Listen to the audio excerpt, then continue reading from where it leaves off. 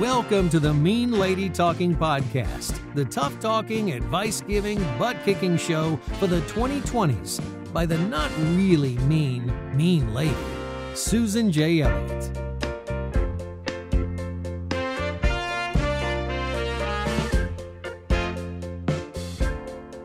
Good day, everybody. This is Susan Elliott, host of Mean Lady Talking Podcast, and welcome to episode 102C. Now, this is going to be on covert narcissism, and I am going to use this not as a comprehensive foray into covert narcissism, but more or less to answer questions that I've gotten on past episodes that I've done. And also, it dovetails with Chris Watts' series because he was a covert narcissist turned primary psychopath. And so I want to refer to some of this when I complete that series. And I also want to talk about covert narcissists in relationships because this is a relationship channel. So, one of the things that I've been neglecting to do is to explain when I talk about the misinformation on YouTube and the misinformation on different blogs, especially with the prevalence of discussion of narcissism in popular culture the past few years, one of the things that I've neglected to point out is that one of the reasons for the misinformation, and I may be guilty of this myself, except I know about it, and I'm not sure that everybody does, is that there is disagreement among researchers, among clinicians. I've tried to, in some past podcasts, talk about some researchers think this, and some clinicians think that, and some therapists think this, so that people get the idea that not everybody's in agreement on all of these things. But if you're talking on this stuff, you should be aware of where the disagreements are. I'm going to talk about some of that on here. And again, when I do a little bit more on narcissism down the line, because I don't think I've been clear on that. And that's one of the things that I really want to do. Some of you may recall that I took a swipe at the therapist who did the who accompanied Shane Dawson on his ridiculous as Jake Paul a sociopath documentary. And one of the things she said on there was that they don't really teach about sociopaths in graduate school. And I thought, why are you why are you on this documentary if if you don't really know much about this? And I said before that I didn't think she was well informed and I gave her the benefit of the doubt and said she was a young therapist, but I've since learned that she's not young and that she's like all over YouTube spouting all of these theories and opinions and things like that. And a lot of it is is incorrect.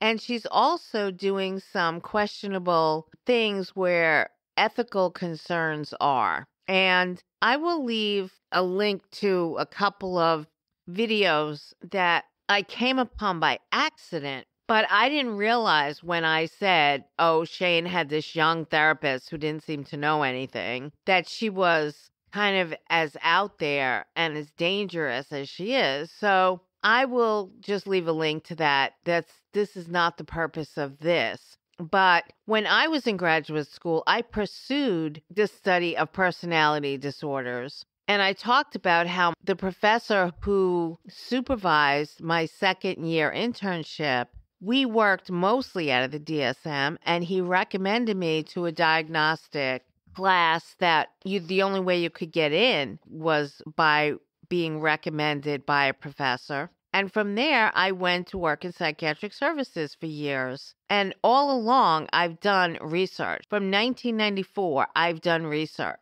So that's 25 years I've been researching personality disorders. When I talk in a podcast, it's very conversational because I don't want to turn people off and sit here and talk very formally. But I just republished an article that I wrote on the pathological narcissist, and it's on the blog on gettingpastyourbreakup.com. If you go to gettingpastyourbreakup.com and you click up on blog posts, it should be one of the most recent blog posts in the end of December 2020 or the beginning of January 2021. I don't remember exactly what day I posted it, but it explains a lot about narcissism. And it was a paper, it was an article that originated with Psychology Today and explains pathological narcissism, healthy narcissism, which is healthy self esteem, and it makes references to covert narcissism and it gives a drops some information in there, but not a great deal, which is what I'm going to talk about today. But over the years, there has been a lot of, I want to say, turmoil where narcissistic personality disorder is concerned. And some of it some of it has to do with the subtypes. You know, do we discuss the subtypes?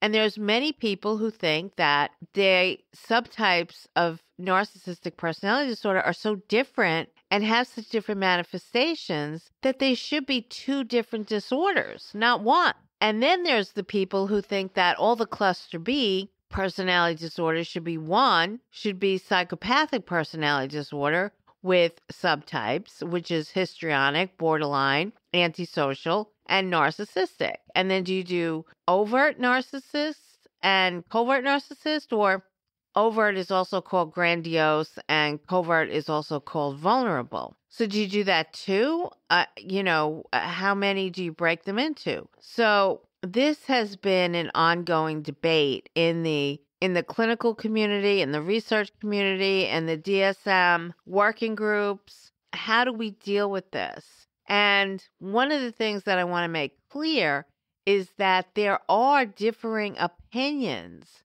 about the subtypes. And in one of my earlier Chris Watts, is he a psychopath? Is he a sociopath? Etc. I talked about this drive to put even more subtypes in there, which I am opposed to because I think that we need to straighten out what we're doing about these subtypes. So, anyway, I want to talk a little bit about one of the things that drives the disagreement in the narcissistic personality disorder is Freud believed that narcissists, and we're talking grandiose narcissists, if I don't differentiate, I'm talking about classic narcissist, grandiose narcissist. And Freud believed that a narcissist suffered from too much self love. Like they just had an inflated sense of self. And I'm going to do an overview of the history at some point of how this all evolved. But there are some modern Freudians who still believe that. The other the other theory is that they suffer from low self-esteem or no self-esteem and they're basically dependent on other people for their self-image. So those are two very different places that you start out talking about narcissism. And when you're talking about the grandiose narcissist, it's very easy to see how you could think oh, that they're just so full of themselves because they act that way. So, with the grandiose narcissist, that can be the case. It's not the philosophy or the theory that I ascribe to, but it's plausible. With the covert narcissist, I don't think that's plausible at all because I think they suffer from really, really low, next to no self esteem. Now, in the article that I just posted, I talked about the fathers of narcissism, Kernberg and Kohut.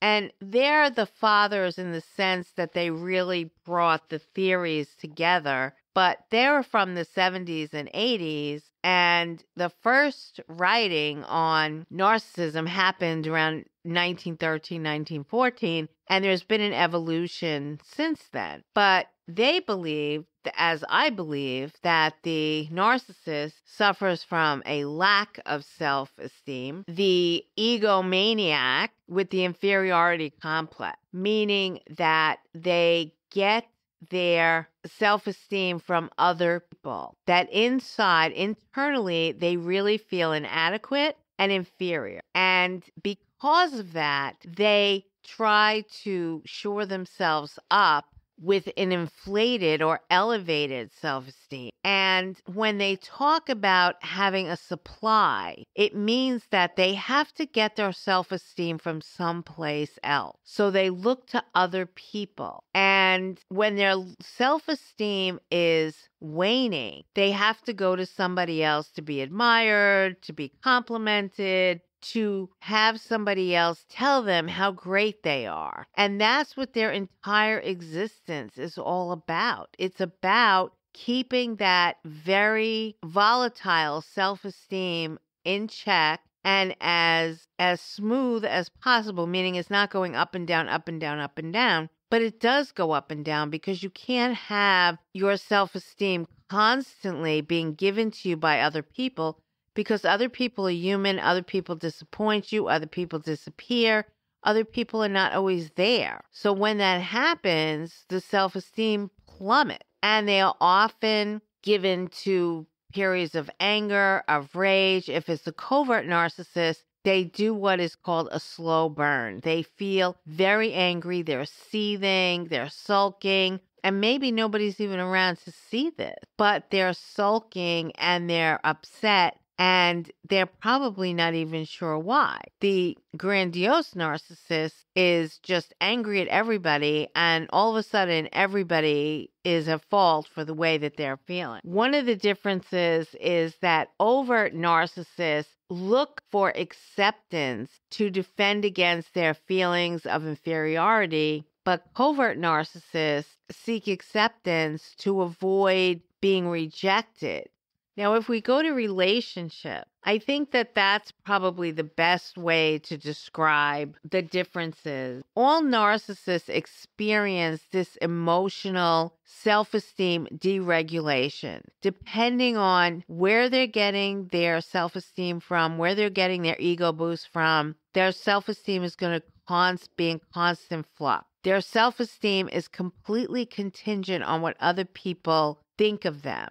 And for the overt narcissist, they can hang on to things like if they're a politician, if some if they were newly elected, if they're on a job and they're getting a promotion, they can hold on to things like that to feed their self-esteem, whereas the covert narcissist has a harder time with that. They really need it coming more from other people. So Karen Horney, who wrote on narcissism in 1939 said that narcissists live in a state of constant alienation and therefore they have very shallow relationships. And one thing that I talk about in the article, Pathological Narcissism, is people with healthy self esteem, when they get into a relationship, they become other focused for a time. They care about the other person, they want the other person to be happy, they want to take the other person's needs and wants into consideration. And that is how a person with healthy self esteem deals with a relationship. With a grandiose narcissist, they deal in relationships mostly wanting to be admired, mostly wanting to be admired and to have adulation from their partner. And their criteria for picking out a partner is that the other person admires them, sees something really fabulous in them. For the covert narcissist, it's a little bit different. They're looking for a partner who looks desirable, somebody who's prettier than if it's a man, it's a woman. They're, he's looking for a woman who's prettier than the norm, who's more outgoing than the norm, because he wants to get his identity from her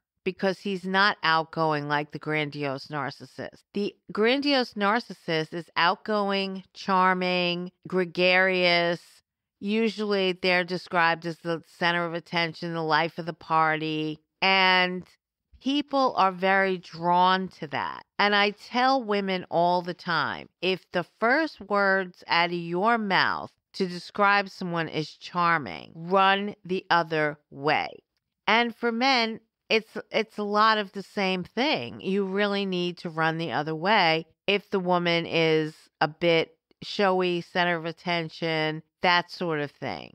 But for women, narcissists are so attractive. And I read one study where it didn't, it, it just went across all kinds of groups that they did the study in. People, both men and women, in heterosexual and same sex relationships found grandiose male narcissists to be so attractive and desirable. Just so attractive. And they attracted exactly what they're looking for, which is the admiration of others. But the covert narcissist, on the other hand, is quiet, shy, withdrawn. And sometimes I tell people if you have been in a relationship with a grandiose narcissist, and I was married to one, you will almost certainly be attracted to the shy, withdrawn person the next time. You don't want the center of attention. You don't want the life of the party. I sat by myself through so many parties, and that is not what I wanted at all. But you could fall into the trap of attracting a covert narcissist because you're so done with the gregarious type. Because once you get into a relationship with the grandiose narcissist, they turn out to be self absorbed. They're not giving you the compliments that they were giving you before because they gave it to you to reel you in so that you would give it to them.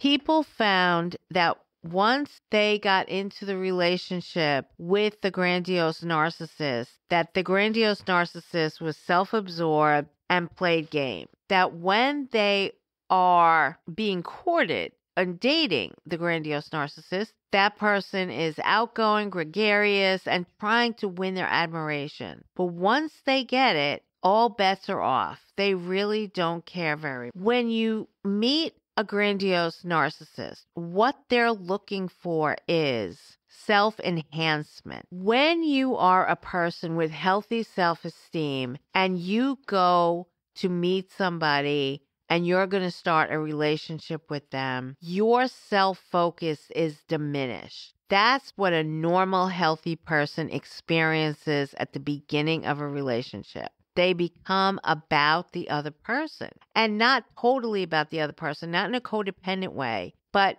they their self focus diminishes in a healthy, normal way. They want to get to know the other person. They want to see what this other person is about. They want to see if they fit into their life. They want to know is this the one? Is this a one? Is this my for now person or is this my forever person? You know, who is this? That is when the self focus diminishes. For the grandiose narcissist, it does not diminish. It's all about self enhancement. It's all about what can this person do for my self image and for my supply of self esteem. Now, of course, those thoughts don't go through their head in that way, but that's exactly the way they approach people that that could be possible relationship material. For the covert narcissists, they do not have a diminished self focus either because they're a narcissist. But what they do have is a mix of self enhancement. They definitely want this person to enhance them. That's why they're interested in desirable people more than they're interested in admiring people. And self protection. This person is going to protect them from the ills of the world because the covert narcissist is more suspicious of the world and their ill intentions than the overt narcissist. So, not only is this new person going to boost up their self esteem, and they don't have to run around looking for it. Because when you're an overt narcissist, it's easy to bounce into a room full of people and get people to admire you and care about you and, and think that you're terrific. And it's easy to become popular. I know that my first husband like was beating girls off with a stick when we were in high school. I mean, he was so popular. And when I was reading the study about how people were just throwing themselves at grandiose narcissists, I thought back to those days and I was like, yeah, everybody except me wanted him. And it was so ironic that I'm the one that wound up with him. And I think I did because I was not interested. And he had to get me interested. That was his challenge. That was his charter. That's what he wanted to do. And I really believe that that's the reason why he pursued me as hard as he did because I was the only one who was like, I don't think you're any big deal. I mean, he was one of my best friends, but, you know, I wasn't falling over myself like other people were. So the the grandiose narcissist is it's easy for them to get into a relationship because people just gravitate toward them. For the covert narcissist, once they find somebody that can give them the self esteem that they're looking for, they can relax because it's not easy for them to make friends. It's not easy for them to go into rooms and find new people to give them their narcissistic supply of self esteem. It's just not possible. It's a lot of hard work for them. So they get into long term relationships for a while. But the problem is that they think that everybody is against them. And eventually, it's going to be their partner in the relationship as well, is going to get that get painted with that particular brush. Narcissists get into relationships to get status and self esteem. They want somebody who's going to admire them. They want somebody who's going to admire them on a fairly regular basis. And they want somebody who's going to be there by their side. Now, for each of the narcissists, you raise them up depending on you know what attributes you bring to the relationship but they're always looking for that they're looking for somebody who can make them better than what they themselves know themselves to be even if the grandiose narcissist acts like, oh, I'm the greatest thing since the folded napkin, no, they don't really believe that. So they're looking for somebody who actually is the greatest thing since the folded napkin. The problem with that is that once you commit to them, once you're in the relationship with them, they start to turn against you almost immediately. It's something that happens and happens on a predictable basis.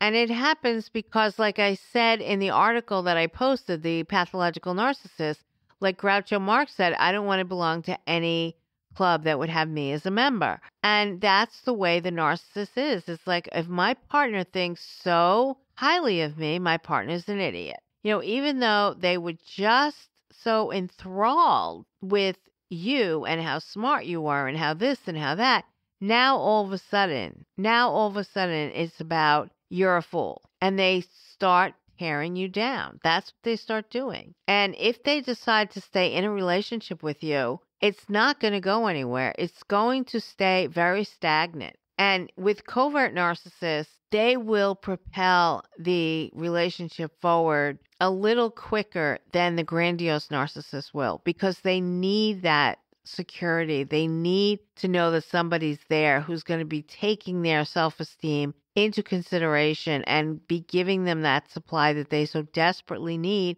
but it's so hard for them to go out and get. The other thing that's important for covert narcissists is that they avoid disapproval. And getting into a relationship helps them avoid disapproval from the world. Oh, why aren't you married? Why aren't you this? Why aren't you that? Now, there is something called the lone wolf narcissist, and sometimes it could be a grandiose narcissist, sometimes it could be a vulnerable narcissist. It doesn't really matter, but it's a lone wolf type where they basically don't need anybody. They don't get married, they don't have kids, they don't have close relationships with their family. They're not really they're not really engaged with with the rest of the world. It's very much like a schizoid kind of existence. And there's a lot of similarities between the schizoid personality disorder and the lone wolf narcissist type. Um, they might marry when they're younger and they might even have a kid or two, but for the most part, they take pride in the fact that they don't need anybody. They take pride in the fact that nobody's going to reel them in and take them for a ride or do anything like that. They look at people that have relationships with other people as foolish. They think that it's ridiculous to depend on other people. And they truly believe that. So the fact that they don't have people in their life, the fact that they're not close with their family, the fact that they've never been married at, you know, a later age, they don't see anything wrong with. It. But they are always, always, always operating in terms of not having enough supply. When you're the lone wolf, you just can't get your supply from other people because you don't allow other people around. But if you do get into a relationship with a lone wolf, I will tell you, they will mistreat you. They will never push the relationship forward. If you want more time with them, you're not going to get it. There's going to be a lot of heartache on your end. If you meet somebody and they could possibly be a covert narcissist or even a grandiose narcissist, but they don't have relationships with people, it pretty much means that they're incapable of intimacy and you should run the other way. Most lone wolf narcissists are very inflexible. They don't want to change. They're very set in their ways because they haven't had to answer to anybody all along. But they also tend to shatter very easily when certain events take place. If they do have a close friend and something happens to that friend, they could they could shatter their entire world. So even though they come off as this haughty lone wolf, I don't need anybody kind of thing, they're actually just like every other narcissist, very fragile, like childlike. You know, childlike is a is a term that is often used toward narcissists that they're very childlike, especially covert narcissists. When you meet a narcissist, if they're a grandiose narcissist, they tend to be extroverted, they tend to be charming, there's that word, arrogant to some degree, although they'll keep the arrogance in check when you first meet them. Although when I met my first husband, we were I mean, we were 15, so he was very arrogant and very self assured on the outside. They're not really self assured on the inside, but they come off as self assured. The covert narcissist seems to be very friendly. They're submissive in some way, shy, withdrawn, but they seem to admire you. They seem to give you a lot of compliments. If I didn't want to the Watts thing in here, but if you recall, Chris Watts took care of Shanann when she was, he met her when she was sick. And one of the first things he did was let her sleep on his lap for almost four hours. And that's the kind of thing that the covert narcissist will do. They'll do things that will endear them to you without having to do the flashy things that the overt narcissist. Uh, when narcissists are out on a date, they will they'll show interest in you. It's all fake, but they will show interest in you. They'll give compliments. They'll highlight what you guys have in common. Oh, me too. You blah blah blah. And they'll share personal details to bring you in and and show some sort of intimacy. And a lot of times the personal details that they that they share aren't even true. That they're just coming up with things called mirroring. They're mirroring what they think you're supposed to do on a date, and that's what they're doing. But they are emotionally disconnected to all of because when you get involved with a narcissist, you have become a threat to them. Because the closer you get to them, the closer you get to seeing that they have a fragile ego and you have power now. You know that. And you can be a threat. And this is especially true for the covert narcissist. The grandiose narcissist does a better job of playing that off, of not being as threatened by that. But the covert narcissist is very threatened the closer you get because it exacerbates the threat and the harm that you could possibly do to their fragile self. It's like they're thinking, my self esteem is in your hands and you're too close. And this is exactly the opposite of why they got involved with you, especially when it comes to the covert narcissist.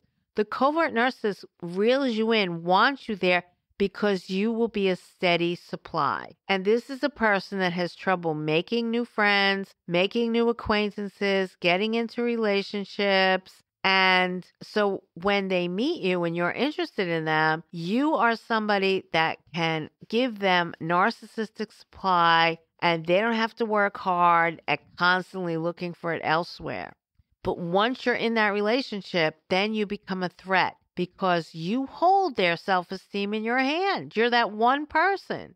The exact thing they wanted you for is now the exact thing they're most likely going to reject you when you get into a relationship with a covert narcissist, they want the relationship there, to help them cope with their negative emotions and to regulate their self and to help with their inadequate self image. Now, the negative emotions of a narcissist, both types, are usually shame, envy, and anger. And the covert narcissist suffers from shame more than the overt narcissist because they feel completely inadequate and dependent on you for their self esteem. And they're going to come to resent you for that, even though they're the ones that set this up. Now, the negative emotions that the narcissist feels, they think that everybody feels. They think that everybody's angry the way they're angry. They think that everybody's envious the way they're envious. They think that everybody's full of shame the way they're full of shame. And everything that they are experiencing, they think you're experiencing as well. And that is why, when the intimacy that relationships require is such a threat to the narcissist and the relationship starts to break down and they're gaslighting you and they're telling you everything that's wrong with and everything that is happening in the relationship they think that you're on the other side seeing it the exact opposite way that it's their problem that it's their fault all the things that they're basically making up in their head, they think you're making up in your head. We talk on this channel all the time about frame of reference. And think about it. Your frame of reference is such that you can't imagine this crazy world of the narcissist. But the narcissist can't imagine the normal world of you. The narcissist thinks that you're plotting against him or her the same way they're plotting against you. They're suspicious of everything and everyone, and they think you are too. So they're going to leap first. They're going to accuse you first. They're going to be there first with all of the accusations, with all of the you did, you did, you did before you jump on them. And I know when I was married to a grandiose narcissist, he would come at me with all these things, and I would have no idea what it was he was talking about. And even if they were rooted in reality, I couldn't remember the conversation that we had that he's referencing. And he's plucking out one sentence from an entire argument. And I don't even know why I said that. Like, I don't remember the argument. I don't remember why I said that. I don't remember anything, but I'm being lambasted over this one thing that I said. And I'm just standing there, like, with my eyes rolling in the back of my head. I don't know what the hell you're you talking about. And like two days later, I would go, Oh, I remember now. I said this because he said that. Wait. And then it's too late. You can't go back. And if you wanted to go back, if you want to say, Hey, remember the other day when we said blah, blah, blah, it just shows that you are the suspicious, negative person that they think you are, the negative person that they are. Because almost every narcissist is a negative person. Even the grandiose narcissist acts like gregarious, outgoing, fun loving. No, very negative. But the the covert narcissist is very negative. Now, one thing that's interesting is that one of the things that people always say to me, and it's mostly women, but it's men too, when you're involved with somebody, and like I said, if you've got, you might have healthy self esteem, you might be a codependent, you might be other things, but you're not a narcissist. That's one thing you're not. So your self esteem is someplace else, but not narcissistic. You get into a relationship and your self focus diminishes. And you want to do some nice things for this other person. And you do them. And without exception, when my clients come into my practice and we go over the relationship and everything they did, they inevitably say, after all the stuff that I did, it didn't seem to be appreciated. Now, maybe at the time they said, Oh, this is really great. How nice of you, blah, blah, blah. But they're not feeling any of that. They're not feeling any of that. Narcissists not only are incapable of intimacy, they're incapable of empathy, they're incapable of a whole bunch of things. They're also incapable of appreciating what it is you've done for them because it's caring. I read this study where they wanted to be admired more than they want to be cared for. And the weird part about it was in a study of male narcissists and female narcissists, the female narcissist cared less than the male narcissist about caring, about acts of love that denote caring. And it's so weird because women who are not narcissists love tokens of appreciation, tokens of love, tokens of expressions of love. They love the flowers, they love the little gifts, they love the little thoughts that you do. And female narcissists,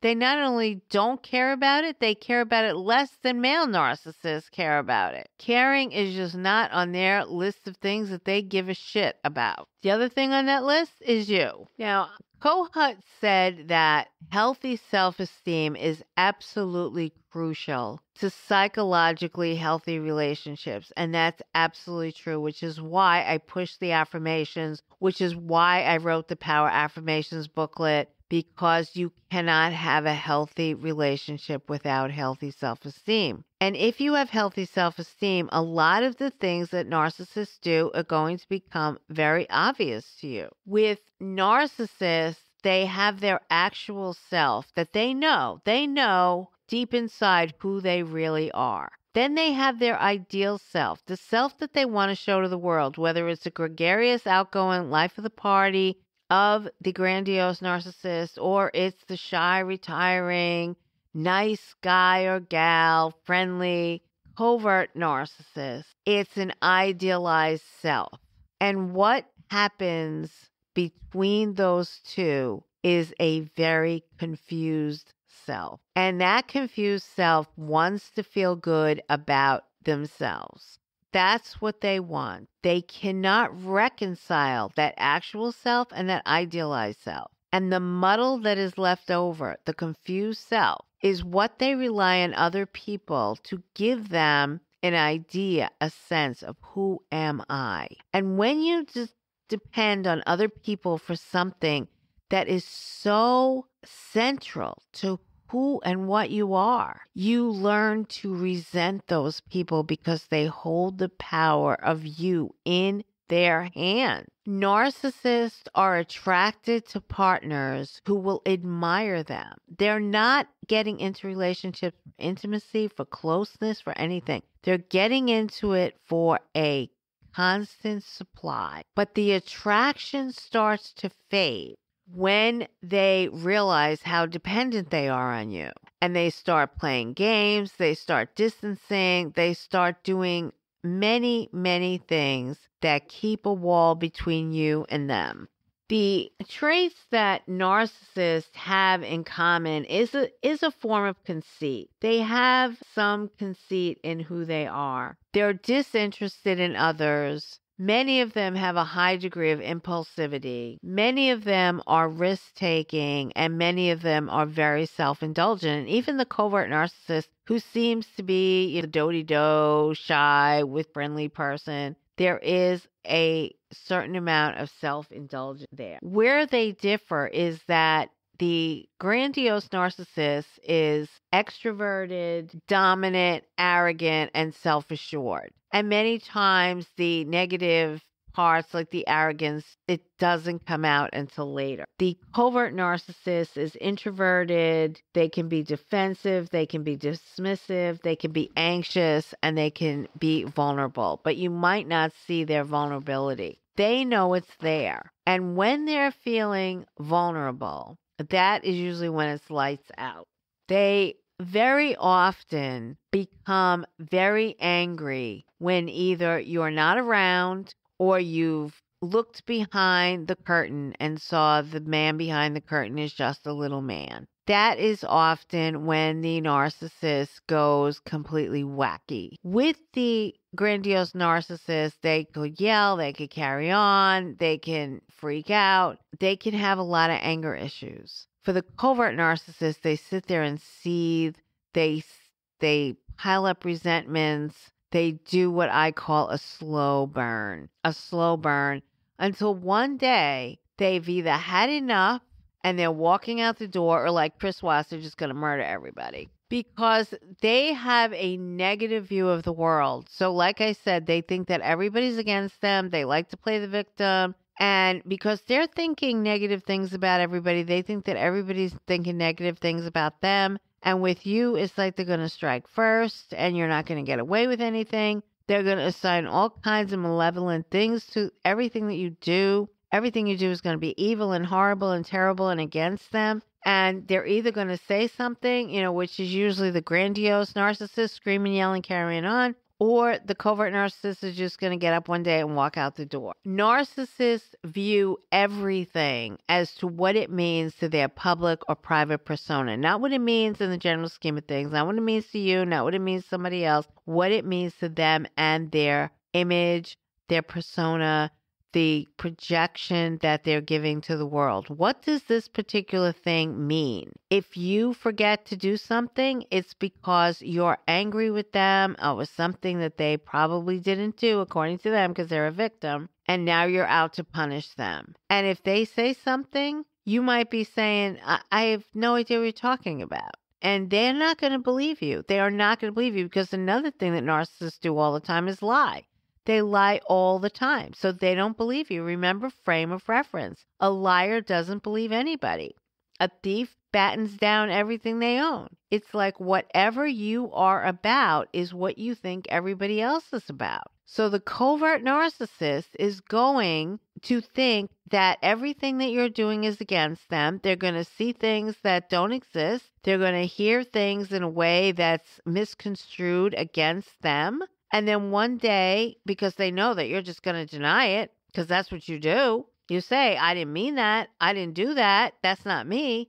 I mean, I spent years doing that. And I've said I was in a in a marriage where it was physically abusive. He had three affairs, and yet it was the gaslighting and the laundry list that made me the craziest, that took the longest for me to get over. It just took forever for me to get over that. The psychological warfare is intense. When the narcissist doesn't get the attention that they want, when they haven't gotten the supply that they want, they become very aggressive. And that's usually the grandiose narcissist. And the covert narcissist usually becomes passive aggressive. Narcissistic rage according to Kohut, happens on a continuum. There's sullenness, there's sulking, there's stain, there's devaluation, there's defiance, there's objection to any slight, and then there's rage.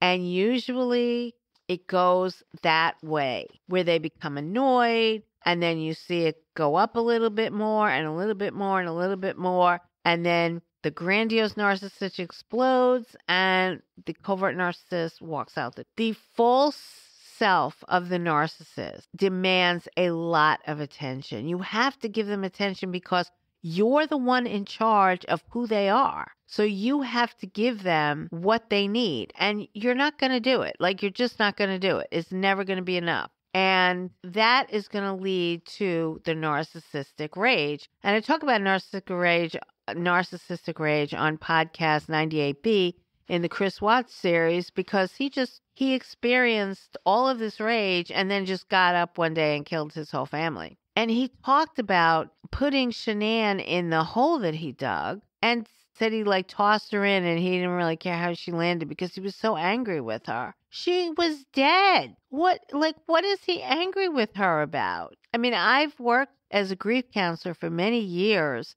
and I've worked with people through terminal illness. And sometimes when people are terminally ill, sometimes the family can, somebody in the family can get angry with them.